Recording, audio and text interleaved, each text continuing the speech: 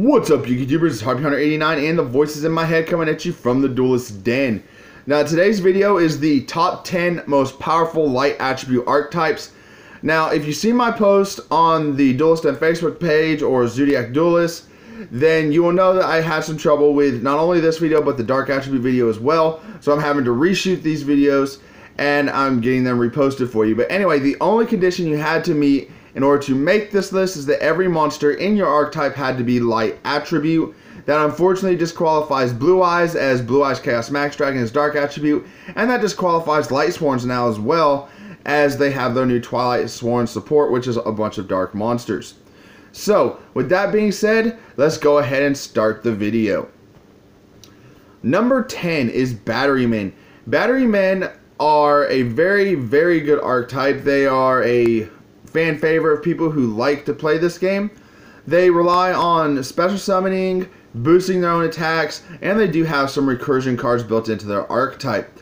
Now, Battery Men by themselves are not very powerful, but as I said, they can do a bunch of good special summons, which allows them to go into their rank 4 plays. You can even toss in some tuner monsters into this deck for synchro plays as well.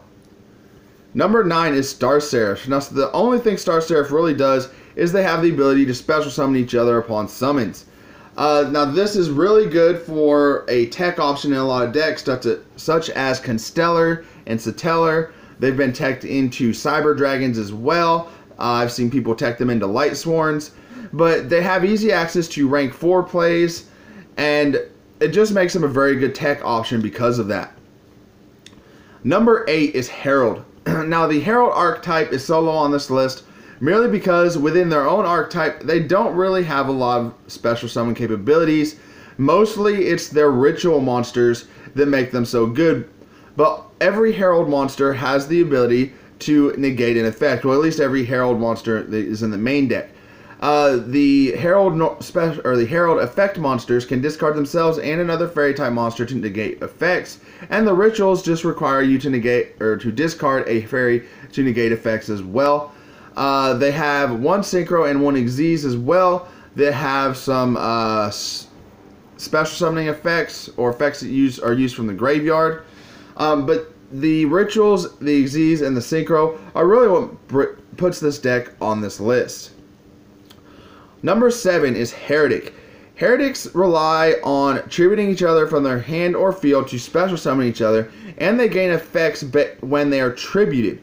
Uh, they also have really good field control and access to rank 8 monsters, such as the Galaxy Xyz monsters. Number 6 is Cyber Angel. Cyber Angel is a ritual based deck. Uh, they can search each other. They have the recursion of not only their monsters, but of the ritual spells as well. Uh, they have a variety of different effects for whatever situation you need.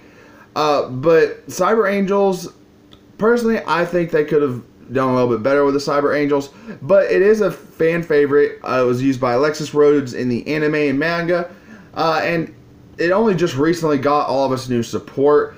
But because of how powerful the ritual monsters are in their base attack and defense, and with the variety of attacks they have, uh, that is why they made this list. Number five, Melodious. Now everybody knows about the Melodious lock, but what they don't know is that Melodious have a variety of separate abilities. Uh, they gain effects when they're special summoned. They have built-in protection. They have built-in special summons. They have recursion. They have powerful fusion monsters. But the Melodious Lock is really what makes this deck powerful because it stops your opponent from uh, destroying your monsters by battle, by card effects, or even targeting them. Number four is the Union machines. That's the ABC unions and the VWXYZ unions. They are union and contact fusion based. Uh, the unions provide protection and boost. They have recursion effects. The fusions can control the field, and they have very powerful stats in and of themselves. Uh, the thing that makes this deck so powerful, though, is the new support, the ABC monsters. Uh, this deck was used by Kaiba in the anime and manga. Uh, he only used it for one episode, I believe, in the anime, but it's still a very powerful deck. Number three is Psy-Frames. Psy-Frames is a very pain in the ass deck to get around. They can, special, they can special summon each other from anywhere via the hand, field, or graveyard.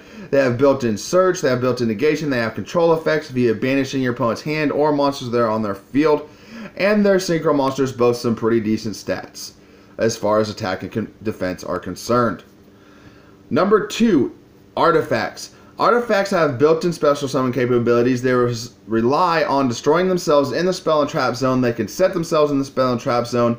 They have built-in destruction, search, control. This is just one of those all-around decks. It is very versatile, and it is very splashable in a number of other things, such as the Hat deck. It has been splashed in with Cyber Dragons and Light Sworns, with Harpies, and several other things as well. The number one most powerful light attribute deck, and this should be no surprise to anyone, is of course Bujins. Bujins have their effects to activate in the graveyard. They have built-in special summons, they have search, they have protection effects, they can discard themselves to the graveyard, they have boost effects, uh, they have recursion. What makes this deck so powerful though is that their monster effects activate in the graveyard and is very hard to get around effects that do so. Well anyway, I hope you guys enjoyed this list. Uh, make sure you like this video, subscribe to my channel, and as always, tell your friends and family and everyone you know who's interested in this game about this channel. I love seeing the number of views on my videos. I also love seeing people subscribe to my channel. Right now, I'm trying to get up to 100 subscribers by May 29th, which is my birthday, and I could use some help doing that. But until next time, this is Harpy Hunter 89 and the voices in my head signing off.